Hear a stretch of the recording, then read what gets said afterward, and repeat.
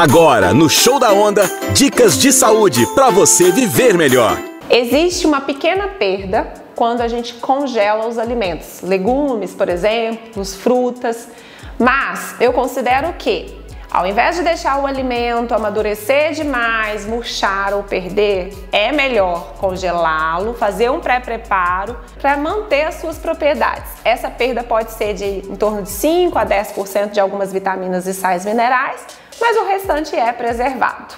Você ouviu Dicas de Saúde, a sua saúde em dia. Onda Oeste Multiplataforma.